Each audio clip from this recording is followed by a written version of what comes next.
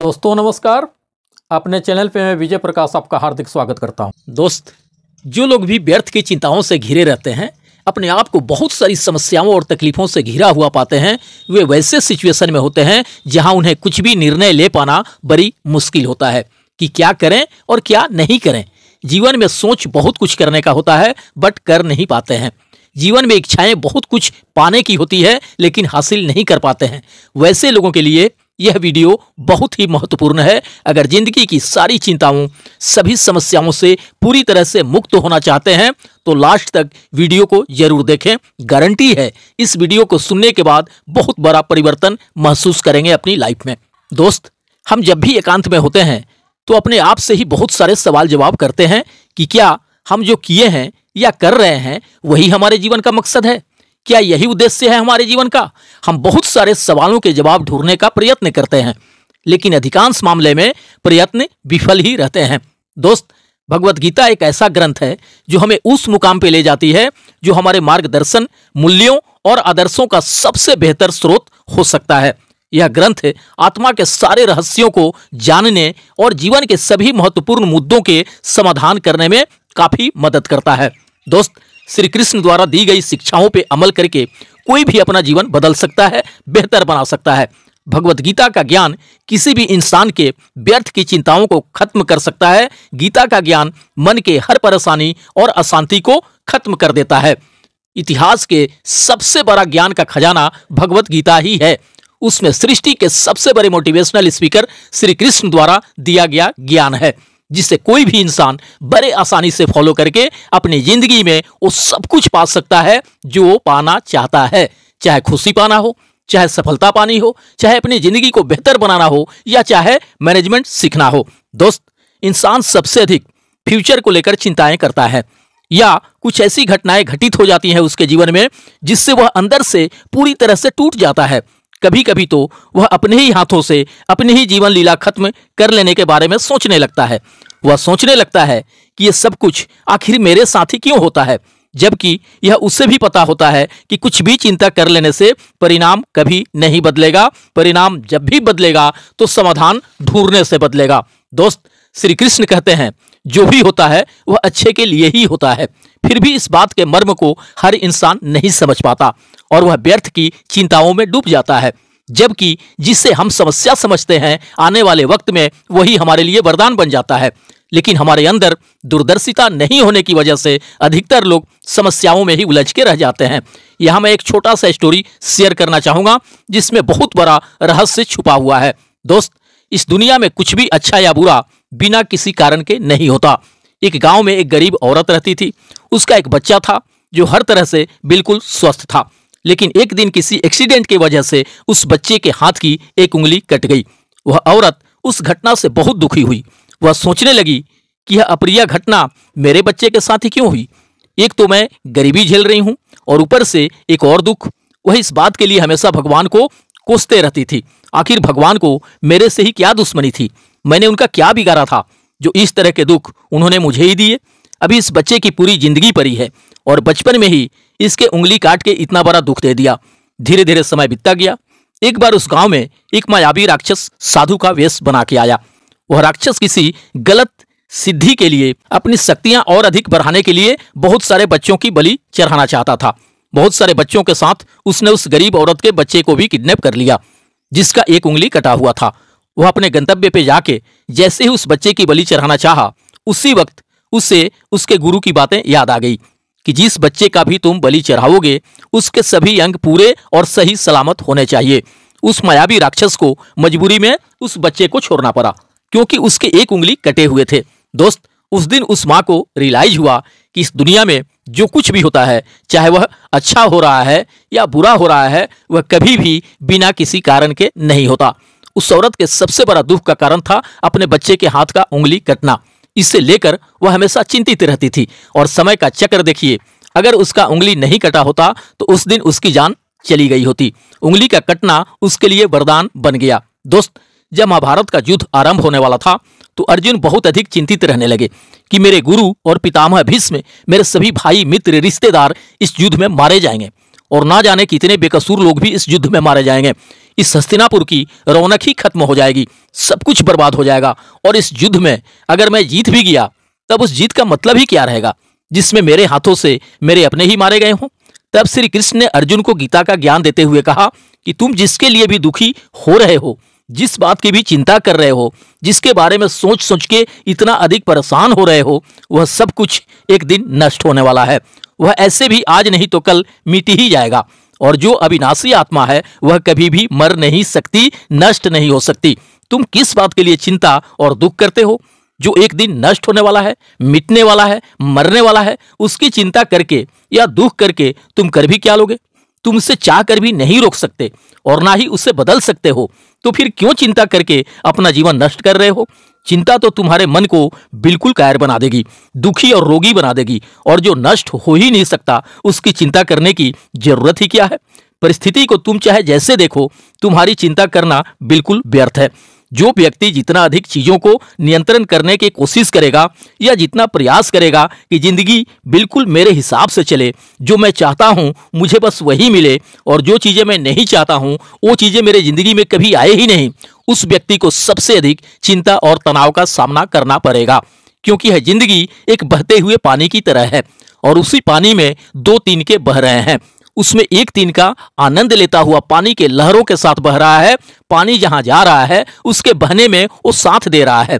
जहाँ जहाँ पानी जाएगा, वहाँ वहाँ मैं भी इसके साथ आनंद लेते हुए बहता रहूँगा। वो तिनका पानी के साथ बह रहा है। वो तिनका पानी के साथ नाचता हुआ, खुश होता हुआ जा रहा है। और एक जो दूसरा तिनका है, जो उस पानी के बहाव के साथ लड़ रहा है, जूझ रहा है, जहाँ ये पानी जा रहा है, मैं बहाव बदल दूँगा उसका। इस पानी को मैं वहाँ ले जाऊँगा, जहाँ मैं ले जाना चाहता हूँ, क्योंकि अपनी मंजिल मैंने कहीं और सोच रखी है। अब वो तिनका बेचारा पानी के बहाव के साथ लड़ रहा है, किनारों से, पत्थरों से, चट्टानों से टकरा रहा है, पर पानी के बहाव को वो बदल नहीं पा रहा है। जितना अधिक कोशिश करता है पानी से लड़ने की, उतना ही दुखी और उतना ही परेशान हो रहा है। ये ज़िंदगी भी ऐसे ही बहते पानी की तरह आगे बढ़ती जाएगी। अब हमें तय करना है कि हम किस तिनके की तरह बनना चाहते हैं। या तो हम खुद को परेशान करके, चिंता करके ज़िंदगी से लड़ते रहें, ज़िंदगी से शिकायतें करते रहें, या तो फिर हम उस तिनके की तरह बने, जहाँ ज़िंदगी जा रही है, उसी में आनंद लेना शुरू कर दें। उसी में ही खुश रहना शुरू कर दें। हमारी हालत उस व्यक्ति के जैसी है, एक बार एक राजा किसी नगर से गुजर रहा था। उस राजा ने मार्ग में देखा कि एक गरीब बूढ़ा व्यक्ति अपने सर पे लकड़ियों का गट्ठर लेकर जा रहा है। राजा को उस व्यक्ति पर बहुत दया आई।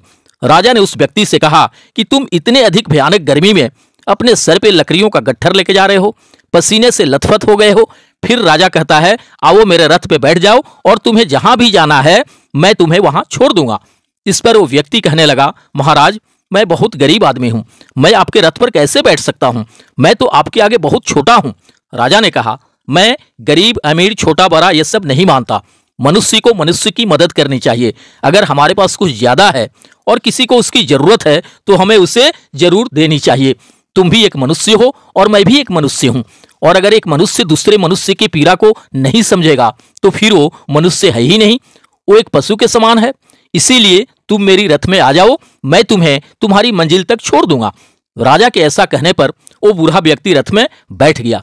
जब वो रथ चलने लगा तब राजा ने देखा कि इस व्यक्ति के सर से अभी भी पसीना बह रहा है। तब राजा ने देखा कि उस व्यक्ति ने लकड़ियों का गट्ठर अपने सर से उतारा ही नहीं है। राजा ने कहा, तुम रथ में बैठने के बाद भी अपने सर पे लकड़ियों का गट्ठर लिए क्यों बैठे हो? अब तो तुम मेरे रथ में सवार हो ये लकड़ियों का गट्ठर मेरे रथ पे रख दो और तुम बिल्कुल आराम से बैठ जाओ। तब वह व्यक्ति कहने लगा, नहीं नहीं महाराज, आपने मुझे रथ पर बैठाया, मेरे लिए यह बहुत ही सौभाग्य की बात है। मैं अपने लकड़ियों का गट्ठर इसका वज़न आपके रथ पे बिल्कुल भी नहीं आने दूँगा। इस तरह के बात सुनकर उस राजा ने अपना सर पकड़ लिया। यही कहानी हम सबकी है। गीता में भगवान श्री कृष्ण कहते हैं कि अपनी हर चिंता, अपना हर दुख तुम मुझ पर छोड़ दो। मैं तुम्हारे हर दुख को दूर कर सकता हूँ। मैं तुम्हारी हर चिंताओं को दूर कर सकता हूँ। लेकिन यहाँ हर एक मनुष्य अपने सर पे चिंताओं का गट्ठर लेकर घूम रहा है। हालाँकि कर कुछ भी नहीं सकता, ताकत कुछ भी नहीं है, लेकिन इंसान अपना ज़ोर चलाता रहता है। हर इंसान को लगता है कि सब कुछ मैंने संभाल रखा है। मैं अगर कुछ ना करूँ तो सब कुछ बर्बाद हो जाएगा, सब कुछ खत्म हो जाएगा, जबकि इतनी भी शक्ति हम नहीं है कि हम खुद से एक सांस भी ले सकें। इसका भी करता धरता कोई और ही है। प्रकृति ने ऐसा नियम बना रखा है कि हमारी साँसें अपने आप चलती हैं। अगर सांस लेने का काम हम पर छोड़ दिया जाए तो हम एक दिन भी ज़िंदा नहीं रहेंगे। इधर एक पल के लिए भी हम सांस लेना भूलें और उधर सामने मौत आ जाएगी। और मनुष्य को सोचने की चिंता करने की ऐसी बीमारी है कि वो सिर्फ़ आज की चिंता नहीं करता बल्कि वह अपने आने वाले कल की भी चिंता करता है। वह आने वाले 10, 20, 50 साल अपने बुढ़ापे तक की अपने मरने तक की चिंता करता है और यहीं तक नहीं इसके बाद तक की भी चिंता करता है। एक बात याद रखिए जो लोग बहुत ज़्यादा सोचते हैं, बहुत ज़्यादा चिंता करते हैं, उनमें कुछ भी करने की शक्ति ही खत्म हो जाती है। क्योंकि किसी बात की चिंता करने में ही उनकी सारी ऊर्जा नष्ट हो जाती है। ये कलयुग है। इस युग में लोग करते कम है और सोचते ज़्यादा हैं। कलयुग का मनुष्य सिर्फ़ व्यर्थ की बातें सोचता रहता है, जिससे कुछ करना होता है, वो ज़्यादा सोचता नहीं है। उस कार्य को कर लेता है। आप अपने आसपास के दुनिया पर नज़र डालकर देखो। आपको अधिकतर लोग न करने वाले ही ज़्यादा मिलेंगे। आपको अधिकतर लोग वही मिलेंगे जो या तो व्यर्थ की चिंता करेंगे, या तो सिर्फ़ आलस करेंगे, या सिर्फ़ बहाने ही देते रहेंगे कि इस वजह से मैं अपनी ज़िंदगी में आगे नहीं बढ़ पा रहा। इस कारण से मेरी ज़िंदगी अच्छी नहीं हो पा रही। अगर मनुष्य सोचने के बजाय करना शुरू कर दे तो उसके ज़िंदगी में कोई भी दुख, कोई भी समस्या अधिक देर तक टीक नहीं सकती। आपके पास दो रास्ते हैं। या तो आपके जीवन में कोई समस्या है तो उसके समाधान मिलने में लग जाओ। उसके सोल्यूशन में लग जाओ। अगर आपको भविष्य में आने वाले किसी समस्या का डर है तो उसकी चिंता तो आप छोड़ ही दो। क्योंकि जीवन वैसा कभी नहीं चलने वाला जैसा आप सोचते हो। जीवन की एक अलग ही गति है। आप कभी गौर करोगे तो आपको यह समझ आ जाएगा कि आप अपनी ज़िंदगी में जिन बातों को लेकर अधिक चिंता करते हैं, उनका कोई मतलब ही नहीं था। आपको लगेगा कि आप व्यर्थ की चिंता करते थे, और ज़िंदगी ने कुछ और ही दिखा दिया। एक नगर में एक बहुत ही धनी व्यक्ति रहता था। उसके पास इतना अधिक पैसा था जिसका हिसाब ही नहीं। एक दिन उसने अपने सारे आदमियों को बुलाया, जो उसका सारा हिसाब किताब देखते थे, और उनसे कहा कि मेरे पास कितना पैसा है, कितनी संपत्ति है, उन सबका मुझे हिसाब दो। मैं जान सकूँ कि मेरी कुल संपत्ति कितनी है। वे सारे लोग सेठ के संपत्ति का हिसाब किताब रखने वाले हिसाब किताब करने में लग गए। उन सभी को सारे संपत्तियों के हिसाब किताब करने में ही पूरे दस दिन लग गए। दस दिन के बाद जब उन सभी ने मिल करके कहा कि आपके पास उतना संपत्ति है कि आपकी सात पीढ़ियाँ बैठकर खा सकती हैं। उन्हें कोई काम करने की ज़रूरत नहीं होगी। जब उस सेठ ने सुना कि मेरे पास इतनी अधिक संपत्ति है कि मेरी सात पीढ़ियाँ बैठ के खाए तब भी खत्म ना हो, उन्हें कोई काम करने की ज़रूरत नहीं होगी तो वह सेठ रोने लगा। सभी हिसाबकर्ताओं ने पूछा कि सेठ जी, आप रो क्यों रहे हैं? आपके पास तो अपार संपत्ति है। तब वो सेठ कहने लगा कि आप लोगों ने कहा कि मेरी सात पीढ़ियाँ भी बैठकर खाए तब भी संपत्ति खत्म नहीं होगा। लेकिन जब उसके बाद आठवीं पीढ़ी आएगी, उसका क्या होगा? उन्हीं के बारे में मैं सोच सोचकर दुखी हो रहा हूँ। यही आजकल के हर मनुष्य की समस्या है। आज सब ठीक है, लेकिन कल कुछ गलत ना हो जाए, उसकी चिंता में परेशान होते जा रहे हैं। एक नगर में एक राजा रहता था, उसका राज्य बहुत बड़ा था और उसके आसपास के राज्य के जो भी राजा थे, उनके साथ उसके बहुत अच्छे संबंध भी थे। लेकिन वो राजा हमेशा चिंता करते रहता था कि अगर कल को ये सारे राजा मेरे शत्रु बन जाएँ मुझ पर, मेरे राज्य पर हमला कर दें, तब मेरा क्या होगा? मैं आगे कैसे जी पाऊँगा? मेरी ज़िंदगी आगे कैसे चल पाएगी? वह राजा इन व्यर्थ की चिंताओं में उलझा रहता था। एक दिन वह अपने गुरुवर के पास गया और गुरुवर से अपनी चिंता बताई। गुरुवर उस राजा का मन समझ गए। उन्होंने उस राजा से कहा कि तुम्हारे नगर में एक महिला रहती है। तुम उसके पास जाओ, उसे बहुत सारा धन और बहुत सारा अनाज देकर आओ। तुम्हें तुम्हारी समस्या का समाधान मिल जाएगा। वह राजा बहुत सारे हीरे, जवाहरात, सोने, चांदी लेकर, बहुत सारे अनाज लेकर उस महिला के पास गया। उसे ये सब दान देने के लिए वह राजा उस महिला के घर पहुँचा। राजा ने महिला से कहा कि ये सारा धन तुम रख लो। इसके बाद तुम्हारा जीवन बड़े आराम से कटेगा, गुजरेगा। उस महिला ने राजा की ये बातें सुनकर ये सारा कुछ लेने से साफ़ मना कर दिया। वो महिला राजा से कहने लगी, मेरे पास आज खाने के लिए पर्याप्त भोजन है। मैं कल के लिए अपने घर में भोजन नहीं रखती। मुझे ईश्वर पर पूरा भरोसा है। जिसने मुझे आज खिलाया है, वो मुझे कल भी खिलाएँगे। क्योंकि जितना मैं संग्रह करूँगी, फिर मुझे उन सामानों की चिंता करनी पड़ेगी। फिर मुझे उस सामान को संभालना पड़ेगा। इससे तो बेहतर है कि जो ईश्वर मुझे आज तक संभाल रहा है, मैं उसी के भरोसे खुद को जीती रहूँ। क्योंकि जो आज तक खिलाते आया है, वो आगे भी खिलाता ही रहेगा। गीता का ज्ञान हमें यही सिखाता है। गीता में श्री कृष्ण अर्जुन को बार बार यही बात कह रहे हैं कि, हे अर्जुन अपनी सारी चिंताएँ, अपने मन के सारे विचार तुम मुझे सौंप दो, मुझ पे छोड़ दो। अपने मन को हल्का कर दो, क्योंकि चिंता करके तुम सिर्फ़ दुख प्राप्त कर रहे हो। कभी देखा है कि चिंता करके किसी इंसान को कोई खुशी मिली हो? या चिंता करके किसी इंसान को अपनी समस्या का समाधान मिला हो? अगर गहराई से देखा जाए तो चिंता एक मानसिक बीमारी है। चिंता वही इंसान करता है जो कर्म में नहीं लगता। वह कर्म में ना लगकर विचारों में लग जाता है। जो व्यक्ति कर्म में लगा रहेगा, उससे चिंता करने का समय ही नहीं मिलेगा। और जो व्यक्ति कर्म का त्याग कर दे वो अपने खाली समय में चिंता ही करता रहेगा। तुम अपने आप को कर्म में लगाओ। जैसे ही अर्जुन को श्री कृष्ण ने उसका कर्म याद दिलाया कि तुम्हें अपना कर्म करना है, ये सब सोचना, विचार करना तुम्हारा धर्म नहीं है। तुम्हारा कर्म है अधर्मियों का नाश करना, जो अन्याय करते हैं, जो अत्याचार करते हैं, उनको नष्ट करना, ना कि फालतू की बातों को सोचना। वह तुम्हारा काम नहीं है। तुम दुनिया के भगवान नहीं हो। तुम कुछ नियंत्रण नहीं कर सकते, क्योंकि ये जीवन बस बहता जा रहा है। कब हम बच्चे से जवान हो जाते हैं, कब जवान से बूढ़े हो जाते हैं, और कब बुढ़ापे से मृत्यु की ओर चले जाते हैं, कुछ भी हमारे नियंत्रण में नहीं हो पाता। यहाँ हर इंसान जीना चाहता है, कोई भी मरना नहीं चाहता, लेकिन फिर भी सबको मरना पड़ता है। यहाँ हर इंसान जवान रहना चाहता है, लेकिन फिर भी सब बूढ़े हो जाते हैं। इस छोटी सी चीज़ को हम समझ लें कि ये ज़िंदगी बस बहते जा रही है, और हम इसे नियंत्रण नहीं कर सकते। बस जो हो रहा है, उससे अपने लिए एक खुशियाँ और आनंद से भरी एक ज़िंदगी हासिल करनी है, और वह ज़िंदगी लड़के या चिंता करके नहीं, बल्कि खुश होकर जीनी है। तुम बिना किसी कारण के चिंता करते हो, और बेवजह ही घबराते हो, परेशान होते हो।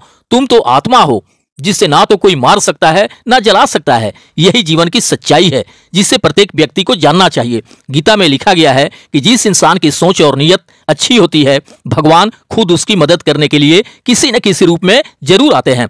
गीता में श्री कृष्ण कहते हैं कि जो मौन को समझ ले, वो पूजनीय होता है। फिर चाहे वो माँ हो, पत्नी हो, प्रेमी हो या परमेश्वर हो श्री कृष्ण का कहना है कि मनुष्य को अपने कर्मों से, संभावित परिणामों से प्राप्त होने वाली विजय या पराजय, लाभ या हानि, प्रसन्नता या दुख इत्यादि के बारे में सोचकर चिंता से ग्रसित नहीं होना चाहिए। जिस मनुष्य ने कभी विपत्तियाँ नहीं देखी उससे अपनी ताकत का एहसास कभी नहीं होगा। विपत्तियाँ मनुष्य को अंदर से मज़बूत बनाती है। दोस्त वीडियो बहुत लंबा हो भी गया, आगे और भी लंबा हो जाएगा। फिर कभी और जानेंगे गीता ज्ञान के बारे में। दोस्तों, यह वीडियो आपके लिए उपयोगी और आध्यात्मिक ज्ञान प्रदान करने का बस एक प्रयास है। अगर आपको यह वीडियो पसंद आया हो और आप अगर इस यात्रा के साथ जुड़ना चाहते हैं तो हमारे चैनल को ज़रूर सब्सक्राइब करें ताकि आप हमारे नए वीडियो के नोटिफिकेशन प्राप्त कर सकें।